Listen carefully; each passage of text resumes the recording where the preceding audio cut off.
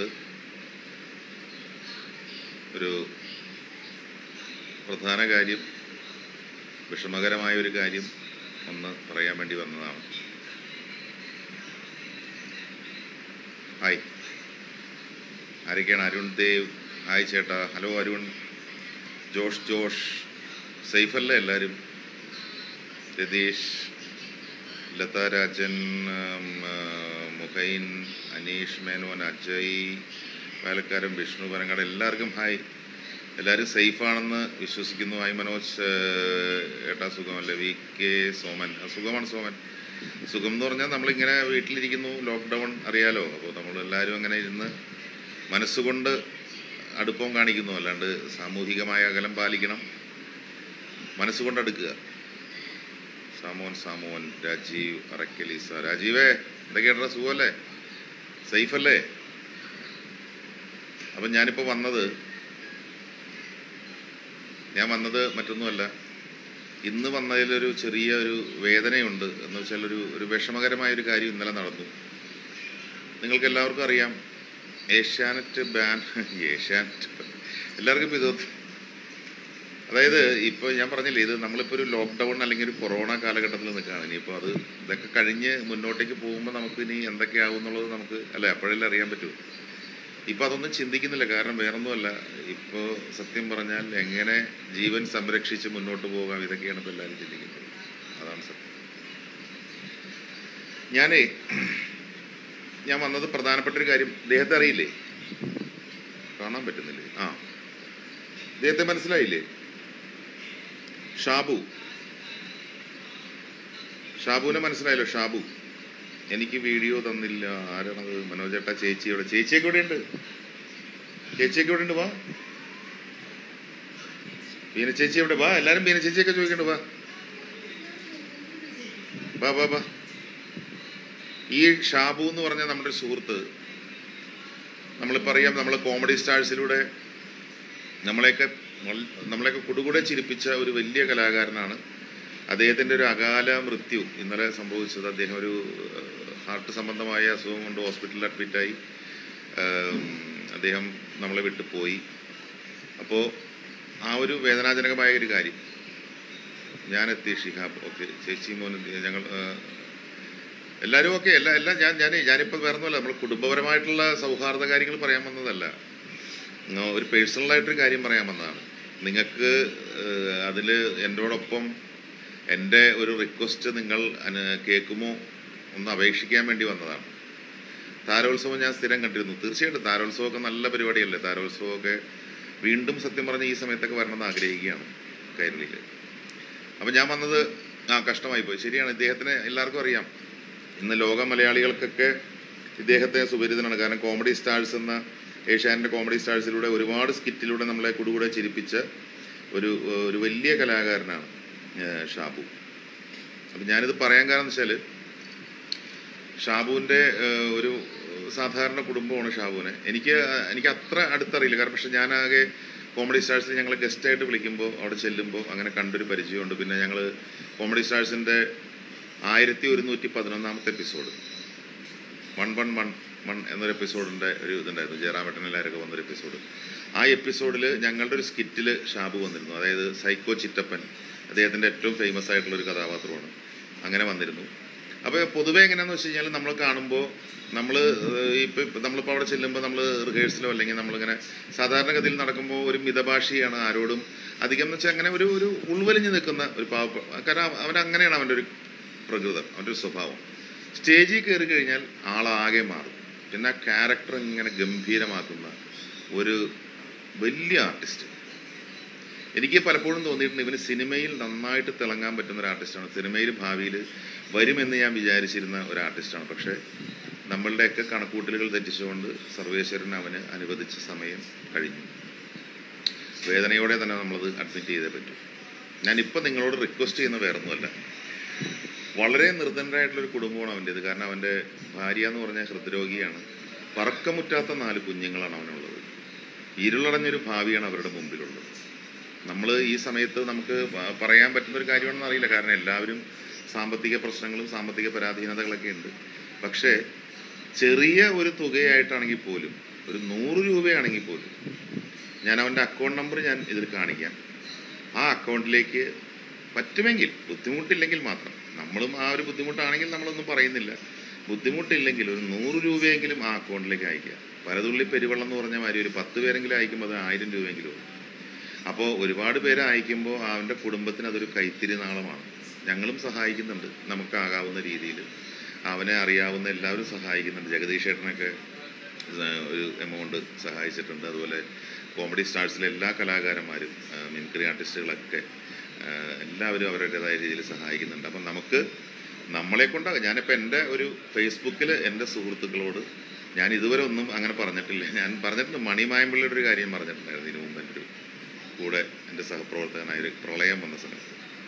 ഇപ്പോൾ നിങ്ങൾക്ക് പറ്റുമെങ്കിൽ നിങ്ങൾക്ക് ചെയ്യാൻ പറ്റുമെങ്കിൽ ഞാൻ ഒരു എന്റെ ഒരു അപേക്ഷയാണ്. കാരണം വേറൊന്നുമല്ല നമ്മളും അതിജീവനത്തിന്റെ പാതയിലാണ്. എന്നിരുന്നാൽ പോലും നമുക്ക് ഒരാൾക്ക് ഒരു കുടുംബത്തിന് ഒരു ഒരു സഹായം എന്നുള്ള രീതിയിൽ. ഇത് അവന്റെ അക്കൗണ്ട് ഡീറ്റെയിൽസ് ആണത് അവന്റെ അക്കൗണ്ട് ഡീറ്റെയിൽസ് ആണ്. ഇതിങ്ങനെ കാണിച്ചു കഴിഞ്ഞാൽ തല തിരിഞ്ഞേ കാണുള്ളൂ അല്ലേ? ഇങ്ങനെ കാണിച്ച തല തിരിഞ്ഞേ കാണുള്ളൂ. തല തിരിച്ചു കാണിച്ചേക്കാം. നിങ്ങോട്ട് വന്നേ. വന്നേ. ഇല്ല, തല തിരിച്ച് കാണിച്ചാലൊക്കെ ഇങ്ങനെ തന്നെ വരുന്നത് ഇത് ഈ സെൽഫി ക്യാമറയിൽ അങ്ങനെ കാണാൻ പറ്റുള്ളൂ. സെൽഫി ക്യാമറയിൽ അങ്ങനെ കാണാൻ പറ്റുള്ളൂ. ഷാബുവിന്റെ അക്കൗണ്ടിലേക്ക് ഞാനൊരു കാര്യം ചെയ്യാം. ഞാൻ എന്റെ ഈ ഒരു വീഡിയോയുടെ അടിയിൽ ഞാൻ മെസ്സേജ് ഇടാം. അവന്റെ അക്കൗണ്ട് ഡീറ്റെയിൽസ് ഇടാം. അതല്ലേ നല്ലത്. അപ്പോൾ അത് കണ്ടിട്ട് നിങ്ങൾക്ക് പറ്റുമെങ്കിൽ ഒരു ഞാൻ പറഞ്ഞില്ലേ കയ്യിലുള്ളത് പോലെ. അത് ഇന്ന തുക എന്നല്ല നമ്മളിപ്പോൾ ഇതല്ലല്ലോ. നമ്മൾ ഒരു രൂപയായാലും ചെയ്യുന്നൊരു മനസ്സല്ലേ ഏറ്റവും വലുത്. ഇല്ലേ? ആ ഒരു കുടുംബത്തിന് നമുക്ക് എന്തെങ്കിലും ചെയ്യാൻ പറ്റുക. നമ്മൾ ദൈവത്തിന്റെ ഒരു കരമാവുക അത്രയേ ഉള്ളൂ. ചുറ്റുമുള്ളവരുടെ വിഷമകഥകളിലൊക്കെ നമുക്ക് കഴിയാവുന്ന പോലെ നമ്മളും സഹായിക്കുക അത്രയേ ഉള്ളൂ. Sugar account number please send Manoj ചേട്ടാ തീർച്ചയായിട്ടും ആരാണ്? Shanavas Mark Shanavas thank you ഞാൻ അക്കൗണ്ട് നമ്പർ ഇതെങ്ങനെ പറ ഇങ്ങനെ കാണിക്കാൻ പറ്റില്ല അല്ലേ? അക്കൗണ്ട് നമ്പർ ഞാനിങ്ങനെ പറഞ്ഞ എഴുതിയെടുക്കാൻ പാടായിരിക്കും അല്ലേ? ഞാൻ ലാസ്റ്റ് ഇട്ടേക്കാം. ഇതിന്റെ മെസ്സേജിന്റെ ലാസ്റ്റ് ഞാൻ ഇടാം. ഓക്കെ അങ്ങനെ ചേട്ടാ പോരെ. ക്ലിയർ അല്ല ചേട്ടാ. എന്ത് പറ്റി? ചേട്ടന്റെ പേജിൽ ഡീറ്റെയിൽസ് ഞാൻ ഇടാം. Aneesh Menon. Thank you Aneesh. ഞാൻ ഡീറ്റെയിൽസ് ഇടാം അതിൽ ഞാൻ അവന്റെ അക്കൗണ്ട് നമ്പറും ഐ എഫ് സി കോഡും അല്ലെങ്കിൽ അവന്റെ ഇതൊക്കെ ഡീറ്റെയിൽസ് ഒക്കെ ഞാൻ ഇടാം. കേട്ടോ? നമ്മൾ വേറൊന്നും അല്ലെന്നേ അത് ഒരു കലാകാരന്മാർ അവൻ വളരെ ഈ കല കൊണ്ട് മാത്രം ഉപജീവനമുള്ള ഒരു വ്യക്തിയാണ്. ഇപ്പൊ ഈ പറഞ്ഞ അവസ്ഥയിലൊക്കെ എല്ലാ എന്താ പറയാ നമ്മളിങ്ങനെ ഓരോ ദുർവിധി എന്നൊക്കെ പറയില്ലേ? നല്ലൊരു ആർട്ടിസ്റ്റാണ്. എന്തൊരു രസമായിട്ട് അവന്റെ എത്ര പേര് അവൻ ഇഷ്ടപ്പെടുന്നതെന്നറിയാം? അവൻ കാരണം അവൻ സാധാരണ ജീവിതത്തിൽ അവനൊരു മിതഭാഷയാണ്. ഒന്നും സംസാരിക്കില്ല ആരോടൊക്കെ വളരെ ഉൾവലിഞ്ഞേക്കും പക്ഷെ സ്റ്റേജിൽ കയറി കഴിഞ്ഞാൽ നമ്മൾ പറയില്ല തട്ടേ കയറി കഴിഞ്ഞാൽ മട്ടുമാറുന്ന പറയുന്ന മാതിരിയുള്ള ഒരു ഗംഭീരമായ ഒരു ആർട്ടിസ്റ്റ്. എനിക്ക് തോന്നുന്നു അവന് ആയുസും ആരോഗ്യം ദൈവം കൊടുത്തിരുന്നെങ്കിൽ അവൻ സിനിമയിലും വെന്നിക്കൊടി പറിച്ചു. പക്ഷേ നിർഭാഗ്യവശാൽ അങ്ങനെ ഉണ്ടായില്ല. അപ്പം നമുക്ക് ചെയ്യാവുന്ന ഉപകാരം നമുക്ക് ചെയ്യാം. ഓക്കെ? ഗിരിജ മലപ്പുറം. മലപ്പുറത്ത് എങ്ങനെ? മലപ്പുറത്ത് മനോഹേട്ട ഞാനൊരു പ്രവാസിയാണ്. തീർച്ചയായിട്ടും സാബുവിനെ കുടുംബത്തെ സഹായിക്കാൻ അക്കൗണ്ട് നമ്പർ തീർച്ചയായിട്ടും തീർച്ചയായിട്ടും. ആരാണത്? മായ. മായ തീർച്ചയായിട്ടും അക്കൗണ്ട് നമ്പർ ഞാൻ ഇടാം കേട്ടോ. ഞാൻ ഇതിന്റെ അടിയിൽ ഇട്ടേക്കാം കേട്ടോ. ഒന്ന് നമ്മൾ നമ്മളെ കൊണ്ട് ആകാവുന്ന രീതിയിൽ. കാരണം നമ്മളിത് ആരോടും പറയേണ്ട ആവശ്യമില്ല. ഇതിപ്പോൾ ആർക്കും ഇതിന്റെ റിപ്പോർട്ടൊന്നും കൊടുക്കണ്ട. തെളിവും കൊടുക്കണ്ട നമ്മൾ ആവശ്യം എന്നുള്ളത്. ഇടത് കൈ ചെയ്യുന്നത് വലത് കൈ അറിയണ്ട. അത്രേ ഉള്ളൂ. എല്ലാം കണ്ട് മുകളിലൊരാളുണ്ട് അത്രേ ഉള്ളൂ. ആ ഏറ്റവും വലിയ സാക്ഷി. ഓക്കെ? ബ്ലാക്ക് ബ്ലാക്ക് ക്യാമറയിൽ കാണിക്കുന്നു. അങ്ങനെ അത് ബ്ലാക്ക് ക്യാമറയിൽ. ആ ബാക്ക് ക്യാമറയിൽ. Sorry sorry sorry. ആ ബാക്ക് ക്യാമറ. ഞാൻ ഒരു മിനിറ്റ് ബാക്ക് ക്യാമറയിൽ കാണിക്കാം. അന്ന് ബാക്ക് ക്യാമറയിൽ കാണിക്കാം. ആ കറക്റ്റാണ് കറക്റ്റാണ് കേട്ടോ അത് കുറച്ചു നേരം കാണിക്കാം അത്. ബാക്ക് ക്യാമറയിൽ അതൊന്നും ഇങ്ങനെ ഇങ്ങനെ ചരിച്ച് ഇല്ല വേണ്ട ഇങ്ങനെ ഇങ്ങനെ ചരിച്ച് ഇങ്ങനെ ചരിച്ച് ആ ചരിച്ചിട്ട് ഇങ്ങനെ കാണിക്കേ. ഇതാ ബാക്ക് ക്യാമറയിൽ കാണിക്കുന്നത് ശരിയാണ്. അയ്യോ അത് വളരെ വലിയൊരു ഇൻഫർമേഷനാണ് തന്നത്. കാരണം വേറൊന്നുമല്ല. ഞാൻ ഈ സെൽഫി ക്യാമറയിലെല്ലാം തലതിരിഞ്ഞല്ലേ കാണുന്നത്. ഇതാണ് ഷാബുവിന്റെ bank account zero four six five zero one double zero double zero two one five eight one I F S C I O B A double zero double zero four six five Indian Overseas Bank Nagaroor branch okay ഇതിപ്പോൾ ഒന്ന് ആരെങ്കിലും കണ്ടു കഴിഞ്ഞാൽ അത് screenshot എടുത്ത് നമുക്ക് ഇങ്ങനെ അത് നമുക്ക് സേവ് ചെയ്ത് നമുക്കത് ഇത് ചെയ്യാൻ പറ്റും. ഓക്കെ ഞാൻ പേജിൽ കൂട്ടിയിടാം കേട്ടോ? ഇതൊന്ന് നിങ്ങളെ കാണിക്കാൻ വേണ്ടി ഞാൻ കുറച്ച് നേരം കൊണ്ട് ഇങ്ങനെ എടുക്കുന്നു എന്നുള്ളൂ. ഓക്കെ തേന എന്റെ ഭാര്യയാണ്. എവിടെ എവിടെയെന്നൊക്കെ ചോദിച്ചുകൊണ്ടിരിക്കുകയായിരുന്നു എല്ലാവരും. പറഞ്ഞേക്ക് ഷാബുവിന്റെ കാര്യം ഒന്നുകൂടെ മനു പറഞ്ഞത് മനു കാര്യങ്ങൾ പറഞ്ഞല്ലോ അപ്പം ഞാൻ ഒന്നും കൂടെ നമുക്കൊക്കെ വളരെ ഇഷ്ടമുള്ളൊരു ആർട്ടിസ്റ്റായിരുന്നു പാവം. ഒരു നല്ല കലാകാരൻ ഒരുപാട് വിഷമായി ഇന്നലെ. എന്തായാലും എല്ലാവർക്കും അറിയാം അവസ്ഥ എല്ലാവരുടെയൊക്കെ ഈ പറഞ്ഞ ഈ ഒരു ലോക്ക്ഡൗൺ സമയത്ത് മോശമായിരിക്കാം. എങ്കിലും ആരോടും നിർബന്ധിക്കുന്നില്ല. ഒരു അവർ കഴിയുന്ന മനു പറഞ്ഞ പോലെ ചെറിയൊരു എമൗണ്ട് ആണെങ്കിലും ഒരുപാട് പേരിടുമ്പോൾ അതൊരു വലിയ എമൗണ്ട് ആയിട്ട് കിട്ടുമല്ലോ. നമ്മളെ കൊണ്ട് കഴിയുന്നതൊക്കെ ചെയ്യുന്നുണ്ട്. എല്ലാവരോടും പറയുന്നുണ്ട്. അപ്പം നിങ്ങൾക്ക് പറ്റുന്നവർ ഹെൽപ്പ് ചെയ്യണം. ഹായ് മെസ്സേജൊക്കെ എന്തൊക്കെയാ? എനിക്ക് മെസ്സേജ് ശ്രദ്ധിച്ചില്ല.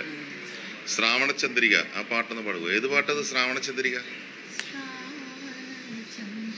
പഴയ പാട്ടോ? ഇപ്പൊ പാട്ട് പാടുന്നില്ല. ഞാനിപ്പോ ഈ ഷാബുവിന്റെ ഒരു കാര്യം പറഞ്ഞു മാത്രമാണ് ഞാൻ ഞാൻ വരാം. ഞങ്ങൾ വരാം. ഞങ്ങളിപ്പോ നാളെ കഴിഞ്ഞ് മറ്റന്നാൾ ഞങ്ങളുടെ ജീവിതത്തിൽ ഒരു വിശേഷപ്പെട്ട ദിവസമാണ് എന്താണെന്നറിയോ? നാളെ കഴിഞ്ഞ് മറ്റന്നാൾ നാളെ നാളെ നാളെ കഴിഞ്ഞ് മറ്റന്നാൾ. ഞാൻ ലോക്ക്ഡൗൺ ആയ ദിവസം. ഞാൻ ലോക്ക്ഡൗൺ ആയതിന്റെ വാർഷികമാണ് അപ്പൊ പറയാൻ പറ്റുമോ നിങ്ങൾക്ക്? ഞാൻ ജീവിതത്തിൽ ലോക്ക്ഡൗൺ ആയതിന്റെ ഒരു വാർഷികമാണ്? പറയാൻ പറ്റുമോ? ഏതാന്ന്?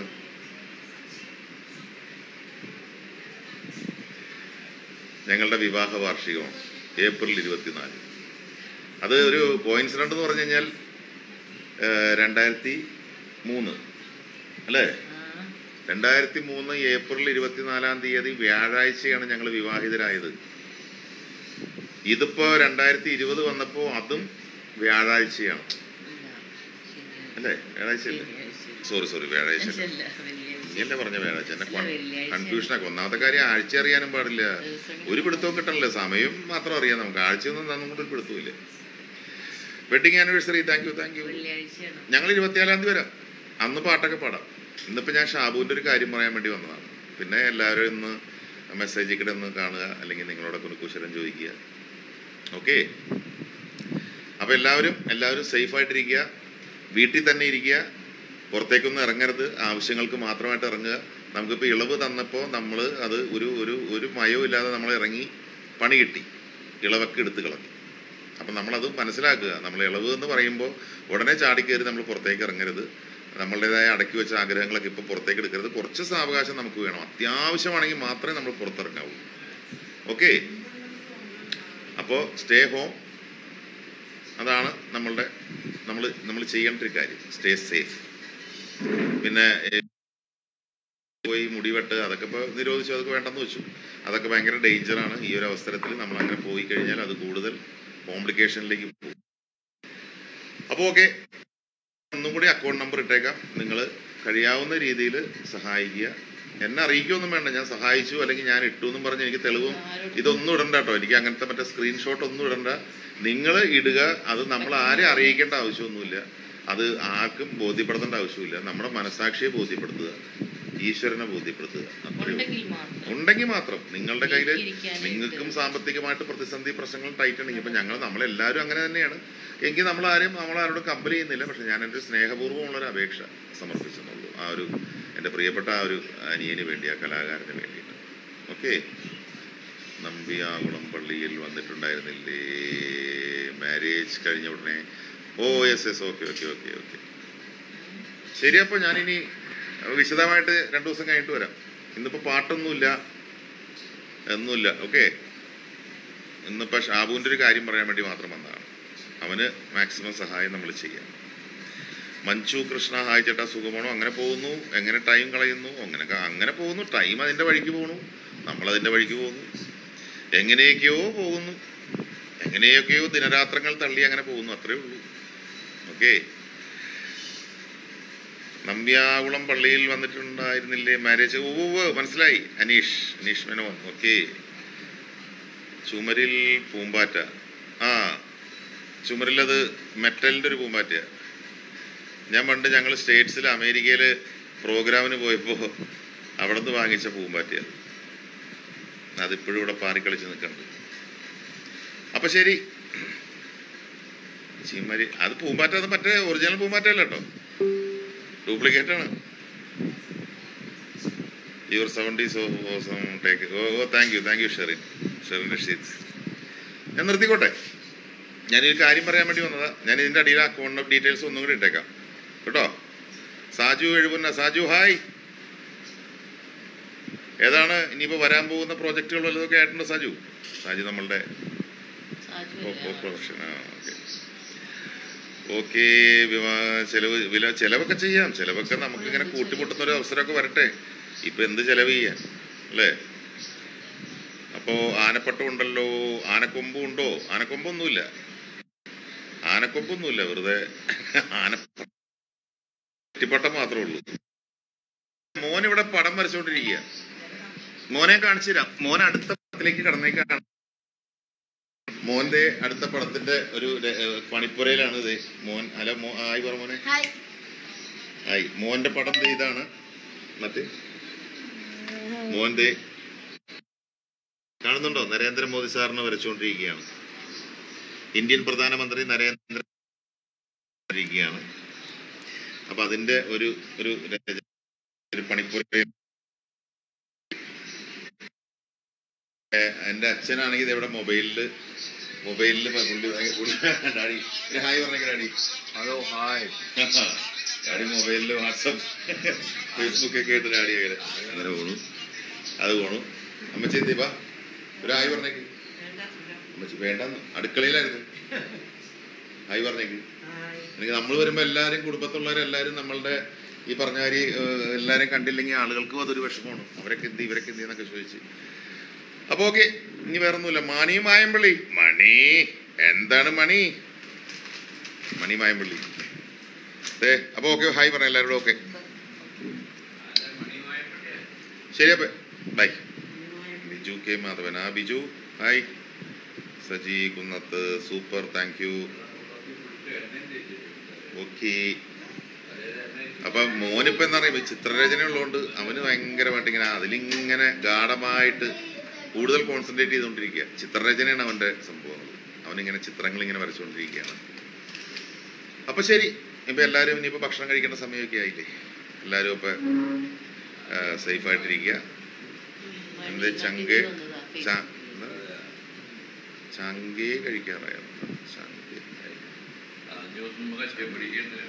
ഇന്ന് അമ്മയെ കണ്ടില്ലല്ലോ ഒന്ന് അമ്മയെ നേരത്തെ കാണിച്ചില്ലേ? അമ്മയൊക്കെ എല്ലാരും ഇങ്ങനെ ഓരോരോ വഴിക്കായിരുന്നു. ഞാനിപ്പോ ഇത് പ്രത്യേകിച്ച് പ്ലാൻ ചെയ്തില്ല. ഇന്നിപ്പോ അങ്ങനെ എല്ലാരും കൂടി കൂട്ടി വരാൻ പ്ലാൻ ചെയ്തതല്ല. ഞാൻ ഈ ഷാബുവിന്റെ കാര്യം പറയാൻ വേണ്ടി വന്നതാണ്. നമ്മുടെ ഷാബുവിന് വേണ്ടിയിട്ട് എല്ലാവരും സഹായങ്ങൾ ചെയ്യാം. ഓക്കെ അപ്പൊ ശരി. Thank you